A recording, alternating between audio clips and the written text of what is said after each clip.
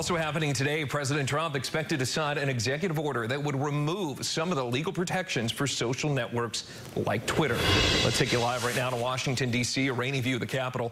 The order would make it a lot easier for federal regulators to hold companies responsible for what users do and say.